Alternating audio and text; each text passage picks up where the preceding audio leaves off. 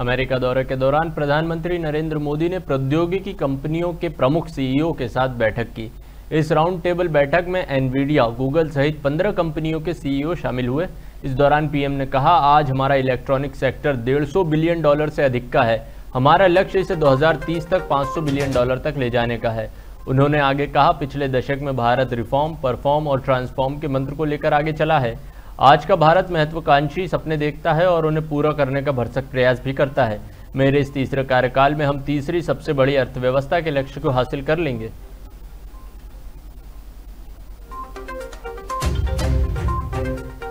और हम उस पर टच भी करते हैं।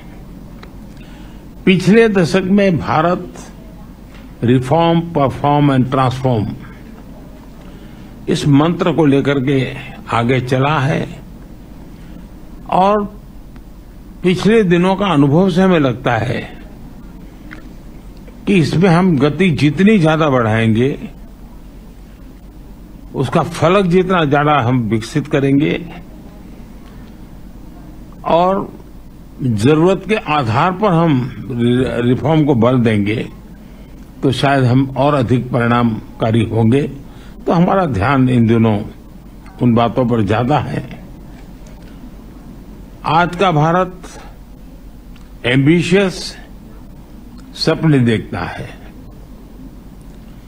और उन्हें पूरा करने का भरसक प्रयास भी करता है। आज भारत विश्व की पांचवी सबसे बड़ी इकोनॉमी है।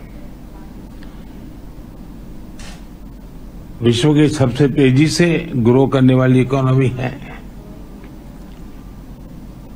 और मैं पक्का मानता हूँ कि मेरा ये जो तीसरा कार्यकाल है, उसमें हम थर्ड लार्जेस्ट इकोनॉमी का हमारा जो गोल है, उसको हम अचीव कर लेंगे।